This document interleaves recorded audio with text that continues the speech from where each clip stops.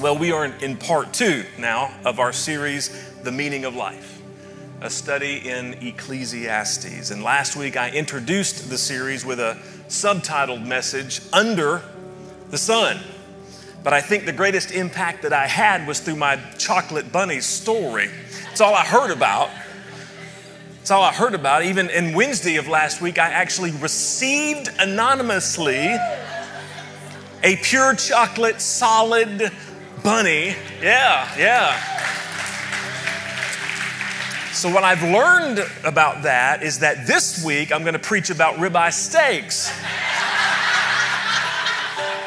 It's going to have nothing to do with the message, but there you go. Amen? Hmm. Anyway, other than the bunny, we talked about the emptiness of living our lives focused on ourselves, focused on our own accomplishments and goals without any consideration of God or His Word. See, when we live our lives completely focused on activities or things that are under the sun, which was what our title was last week, see, we fail to acknowledge the God who is above it.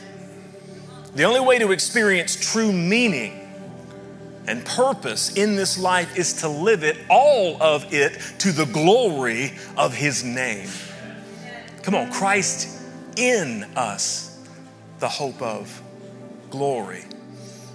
Now, you see, the thing is, it may be the same work that we do. I think sometimes we think uh, some people come into a church and they're like, if I give my heart to the Lord, if I really get serious about God, I'm going to end up in Africa or in the deepest jungles of South America. It doesn't work that way. Now, if you do, it's because God put that passion and gifting in your heart to do it, and you will be blessed. I got one amen. but it doesn't work that way. See, God has gifted each of us with certain things that we do well, that we're passionate about, that we're good at, and He places us where He wants to place us in society. It may be the same work. It's not really as much about what I'm doing as why I'm doing it. If it's to build my own name, if it's to build my own reputation, or is it to honor God and give Him glory? See, if we work and strive to build our own name, and we, we see that all around us, right? There is a level of glory that comes with that but it's a glory that will fade away. It's a glory that will not last. And so that when we look back on our life, if we've lived it that way, we're going to look back on it and it's going to feel very empty, hollow, and meaningless. That is what Solomon is wrestling with. One of my favorite worship leaders, uh, I used to be a worship leader, and so I was one of the, one of the, the guys that I used his music so often was Matt Redman. And he wrote one of the best worship songs of all time, sung around the world, called Heart of Worship. Well, in his earlier years, he was at a church as a worship pastor, and they started getting a name for themselves, for himself, and for the band, and all of this stuff. And the pastor, started to get an uneasy feeling in his spirit. He started realizing that this, this band and this young worship leader was getting a little too big for his britches. And he sat the whole team down. He sat them down. And they didn't even have regular worship for weeks. And during that period of painful time for Matt, God, God got a hold of him. And he wrote, When the music fades, that was his life. He had, he had identified his whole life with music. When the music fades and all is stripped away, and I simply come longing just to bring something that's of worth that will bless his heart. I'm coming back to the heart of worship It's all about you, Jesus. That's what I'm talking about. That's what I'm talking about. True meaning comes through a life well lived to the glory of God. So today, my task is really difficult because we only have really two more weeks and 11 more chapters. Now, I know how I'm going to end the series in chapter 12, so today I'll be preaching the others in the, for the next three and a half hours. So just get ready. No, I actually think I'm going to extend the series at least one week. Um, but I want to subtitle our message today Seasons. Everybody say Seasons. Seasons. Father, thank you for your presence and your anointing during the worship. Lord, thank you as Nate read your word that you are the great high priest, that you are able to mediate between God and man, that you gave your own blood. No longer the, the, the, the, blood of goats and calves are needed, Lord, but your own blood, once and for all time, was shed for the sins of the world. And we celebrate that. We thank you for that today. So, right now, would you, by your Spirit, cause your word to become alive? Let it be rhema to our soul today. In Jesus' name. And everybody said, Amen. Seasons.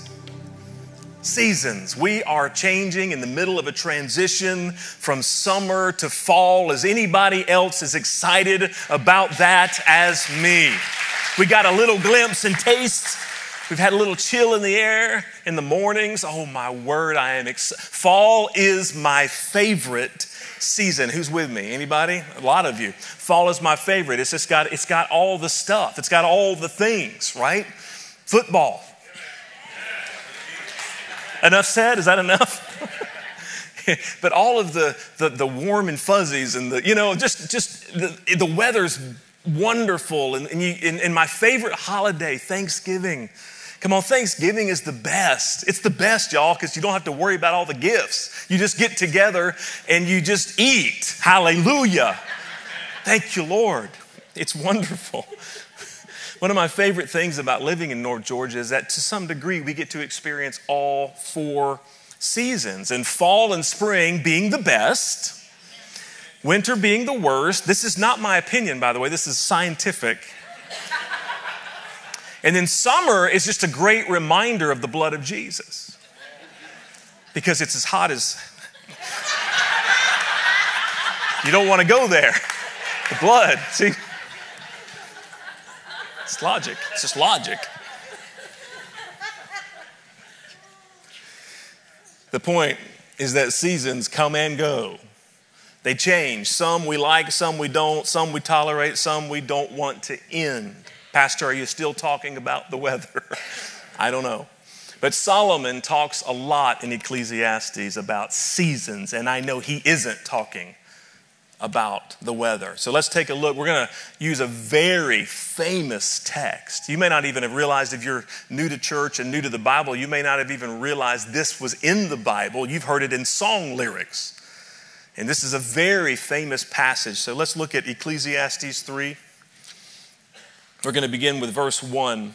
It's a little different because we're going to be in the New Living Translation, but you will recognize it. Now, verse 1 says, For everything there is a, a time for every activity under heaven, a time to be born and a time to die, a time to plant and a time to harvest, a time to kill and a time to heal, a time to tear down and a time to build up, a time to cry and a time to laugh, a time to grieve and a time to dance, a time to scatter stones and a time to gather stones, a time to embrace and a time to turn away, a time to search and a time to quit searching, a time to keep and a time to throw away. I highlighted that because some of you are hoarders.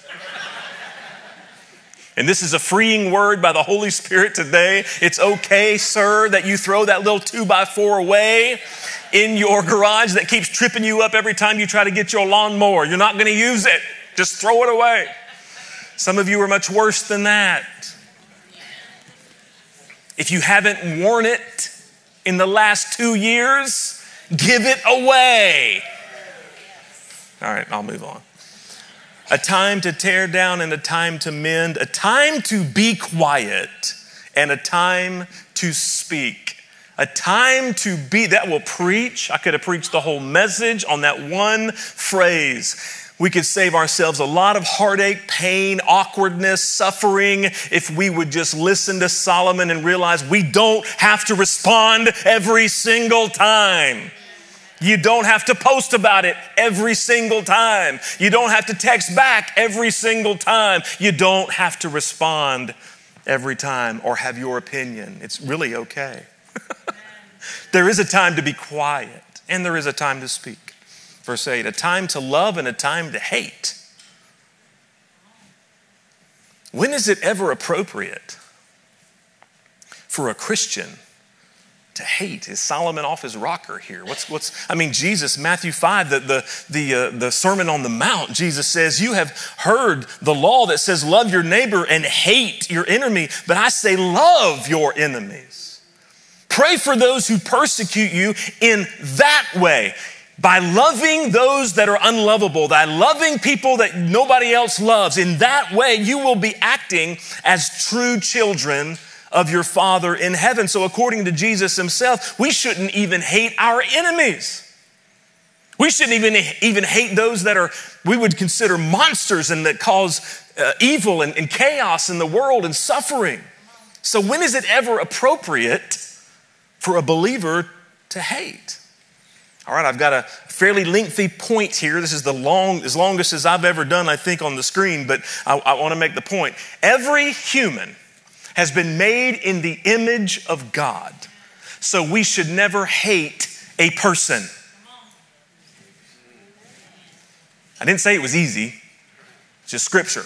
But we are obligated to hate their sin if it causes pain and suffering to the innocent.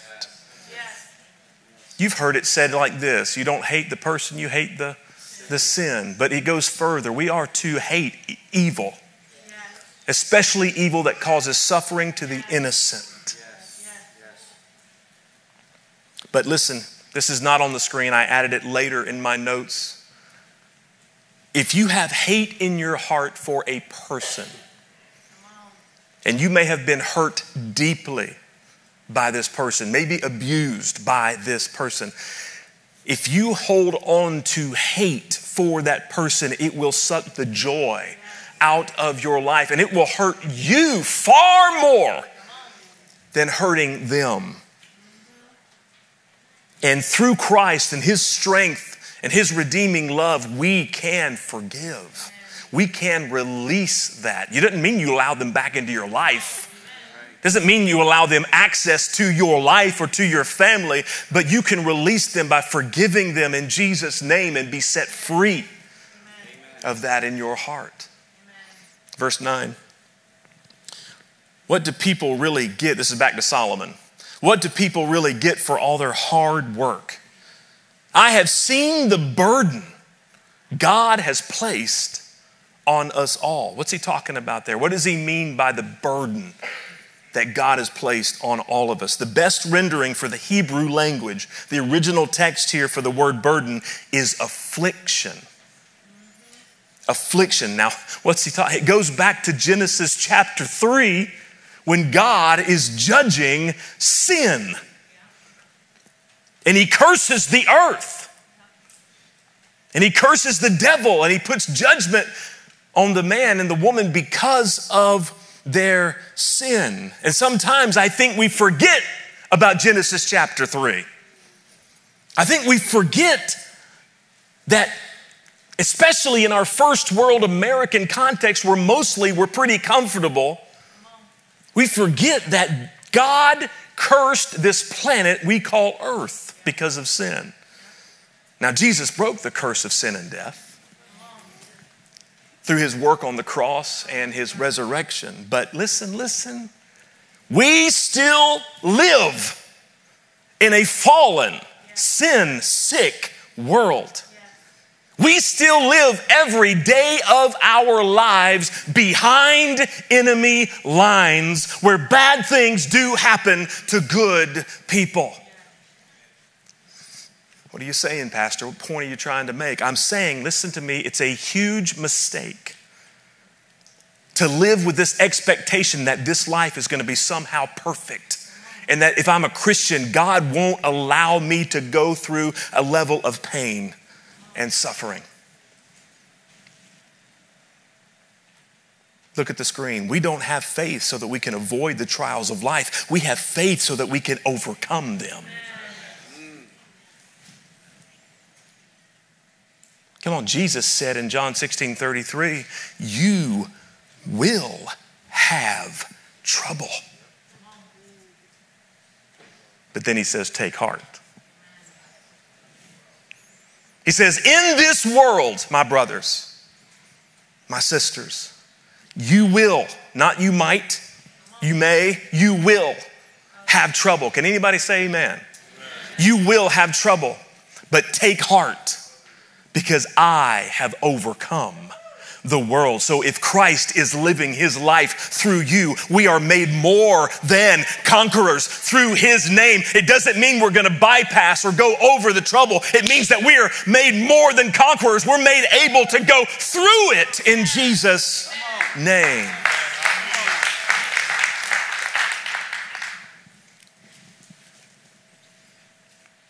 Church, I want to encourage you take heart. There is coming a day when this present darkness that we live in will be pierced by the wonderful and marvelous light of Jesus Christ when He comes again. There is coming a day when He will make all things new, a new heaven and a new earth. He will restore and He will reclaim what the enemy has stolen and what sin has destroyed. In Revelation 21, it says, Then I saw a new heaven and a new earth, for the first heaven and the first earth have passed away, and, and there is no longer any sea. I saw the holy city, the new Jerusalem, coming down out of heaven from God, prepared as a bride, beautifully dressed for her husband. And I heard a loud voice from the throne saying, Look, God's dwelling place is now among the people, and he will dwell with them, and they will be his people, and God himself will be with them and be their God. He will wipe every tear from their eyes. There will be no more death or mourning or crying or pain, for the old order of things have passed away. He who was seated on the throne, who is that? Jesus. Jesus said, I am making all things new. Now give him the best praise. Anybody looking forward?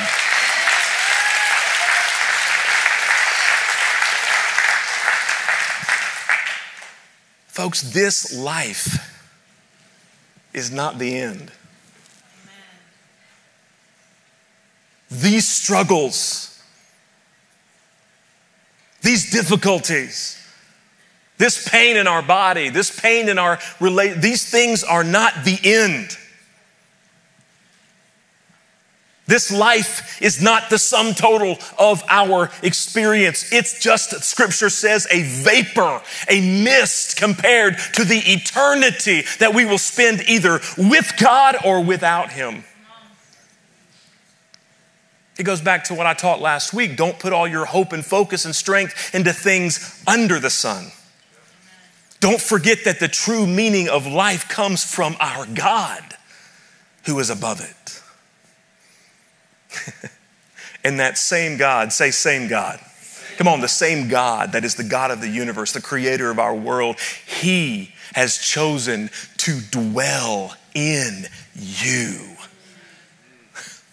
That's crazy. But it's true and it's wonderful. Let's finish. Verse 10, again, we've already read this, but I want to remind you it says, I have seen the burden or the affliction God has placed on us all. Verse 11, yet God has made everything beautiful. Say beautiful. God has made everything beautiful for its own time, its own season one of my favorite old choruses from the late 70s, early 80s. And I actually know the author. He was my choir director at Lee, Dr. David Horton. He wrote a song called Something Beautiful. You Mount Paranites have heard Dr. Walker sing that. The lyrics are on the screen. It says, Something beautiful, something good. All my confusion, come on, he understood. All I had to offer him was brokenness and strife, but he made something beautiful out of my life. Something beautiful, something good. All my confusion, he understood. All I had to offer him was brokenness and strife, but he made something beautiful out of my life. Isn't that wonderful? Here's the point God can bring redemption out of the worst dysfunction. Let that just rest in your soul. God can bring redemption out of the worst. Come on, from cover to cover, from Genesis to Revelation, story after story after story of God making something beautiful out of the darkest seasons of human existence. That's what He does. That's who He is. My God is able to do exceedingly and abundantly above all that we could ever ask, think, or even imagine. My God is able. One example, just one example Jacob, Abraham, Isaac, Jacob a mess. The most dysfunctional family you have ever read about. Go to Genesis, read the story if you haven't. It will encourage you about your family. Be like, Dear God. And out of this dysfunction came 12 sons that became the 12 tribes of Israel. And out of the dysfunction of the country and the nation of Israel, one day God would bring on the scene the King of Kings and the Lord of Lords, our Messiah, Jesus Christ. God can do anything, and He makes it beautiful in His time, in His season. Mm. Let me encourage you you may be in a season of dysfunction right now. It might be a relational thing, it might be a financial thing. You may be in a season of confusion where you don't know what to do, you don't know which way to turn, you don't know the decision to make. You may be in a season of sorrow, loss, pain. But just like the summer is changing into fall, your season will also change. And if you let Him, God will restore. God will redeem what you've lost.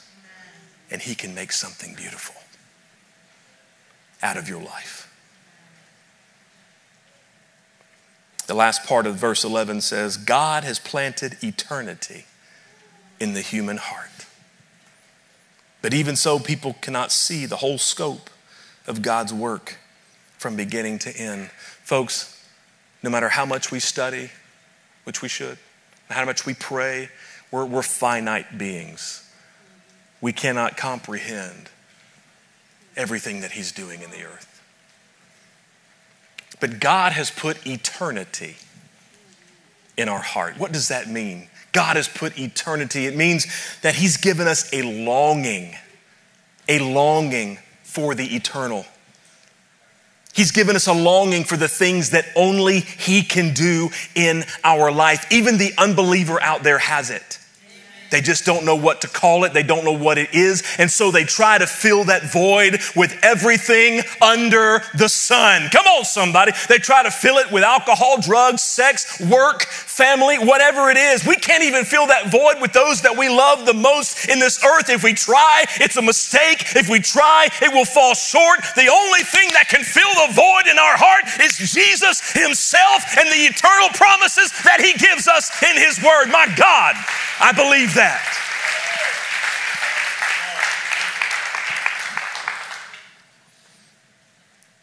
It's a longing to be in step with His timing and the seasons He has and the purposes that He has. See, if we reject God's timing, listen, listen, please, our best intentions will fall flat.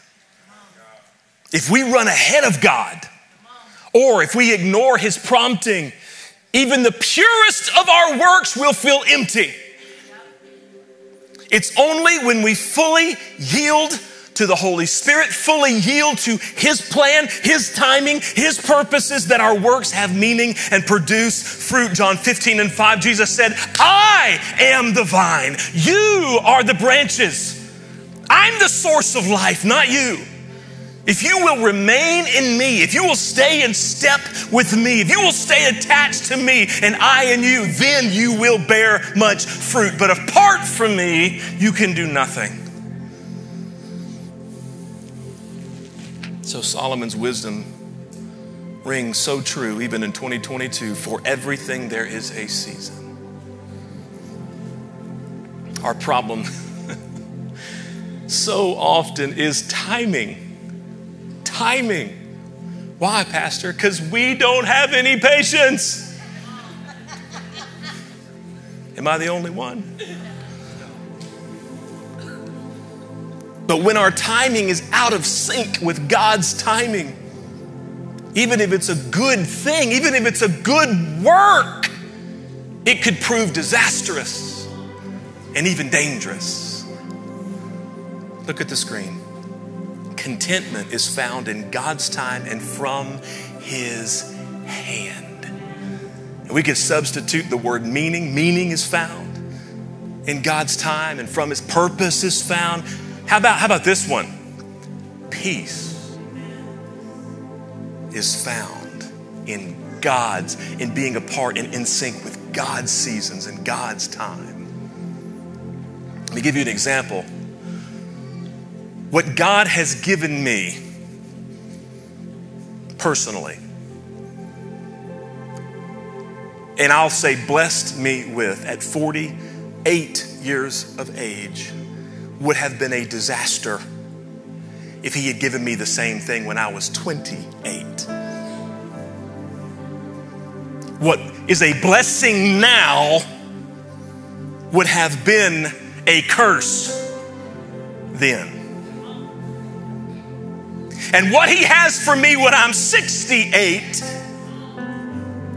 well, maybe I can't handle that right now, and I've got to be okay with that, and I've got to trust Him because He is a good Father and has my best interest at heart. My God, that is maturity. If we will come to that place, what a blessing it is if we can come to that place of trust and faith in our God.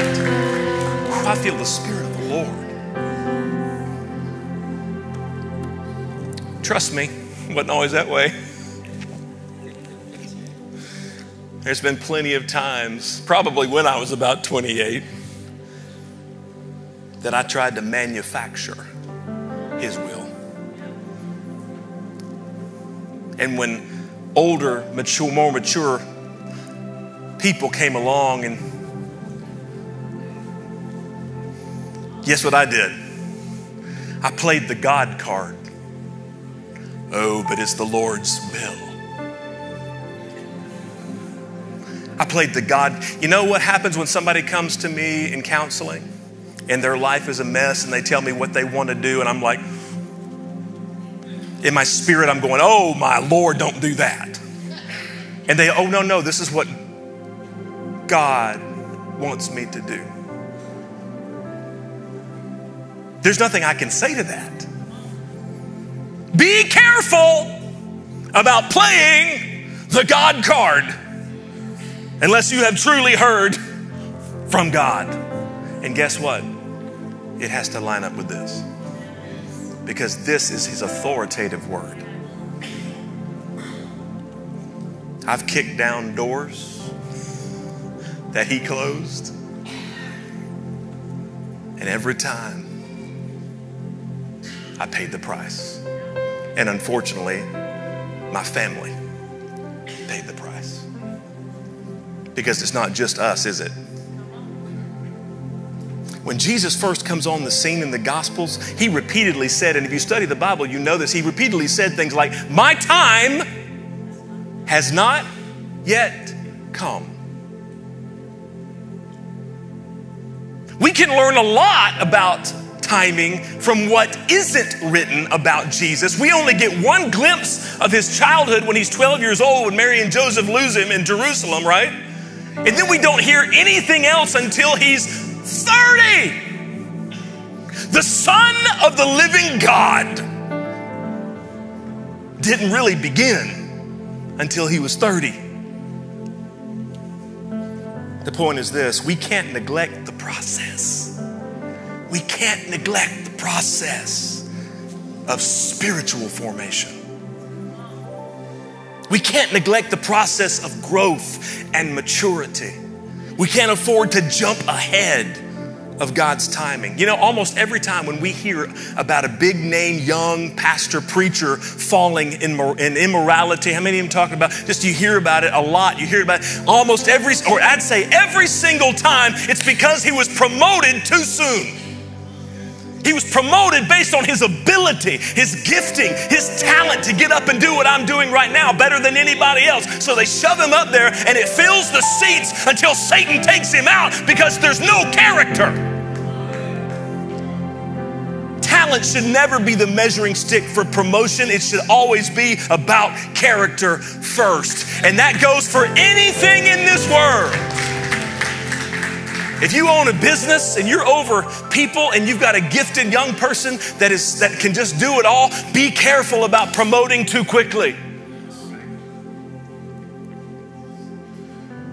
They may be better at it than you are, but you've got something they don't, and that's years of experience. Don't neglect the process. Students, young adults, 30 somethings, listen to your pastor, please. There is a season for promotion. There is a season of influence and leadership. But you can't bypass the season of learning. You can't bypass the season of growth and apprenticeship, formation that's just old fashioned wisdom, isn't it? Can I remind you that the book that we're reading, Ecclesiastes, is a book of wisdom. As Solomon gets in our face, he offends us with some of these thoughts, but that's what it is. Solomon lets us know that wisdom, listen, doesn't come to us in a neat little package. It comes through joy and pain. It comes through success and failure. It comes through exciting times and it comes through the mundane seasons. Wisdom comes over decades of building relationships, first with God, and then those He brings into our lives. And I'll finish with this God wants us to enjoy our lives. Uh, I got two amens. Do you want to enjoy your life? God wants us to enjoy our lives. That's not his primary purpose, but he does. It's all through the Bible. He wants us to enjoy our family. He wants us to enjoy our friends. He wants us to enjoy food, thank the Lord. Thank you. I, have I've got that one down. Tonight, seven o'clock, He wants us to enjoy one another. He wants us to enjoy and celebrate with 12 people who are getting baptized. He wants us to enjoy. He wants us to find fulfillment in our work. Boy, that's all through Ecclesiastes. Anybody done any extra reading? It's all through there that he wants us to enjoy what we put our hands to. But never forget the big idea. work and play and life apart from God are meaningless. See, God, because of Jesus, has given us a better way than this world offers. Right? It's a blessed way. The way of the, the sinner, the way of the person that's away from God is, is hard. It's cursed. God has given us a blessed way, a more abundant way. He's given us a full life with every kind of season that we can imagine. Would you bow your heads, please?